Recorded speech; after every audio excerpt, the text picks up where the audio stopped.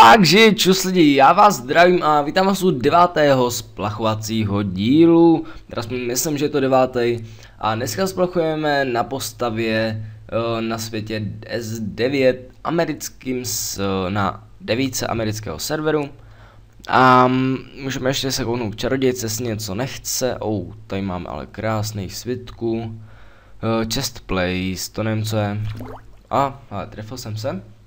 Jo, takže dneska uh, jdeme jí tam asi rovnou něco hodit, já to nebudu vůbec natahovat. Um, a jdeme na to, tak pojď a padni Epic.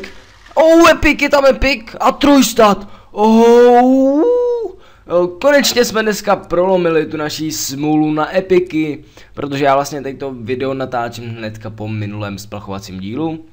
Takže jsem šťastný a uh, haha, konečně nějaký štěstí a jdeme na Pantera, nebo zkusíme sundat Pantera, um, ale já nemám vlastně epiky, elíky, jo, tak si koupíme aspoň ten naštěstí, uh, sice mi vůbec nepomůže, ale dobře, zkusíme, zkusit to můžem, a Pantera asi nedáváme.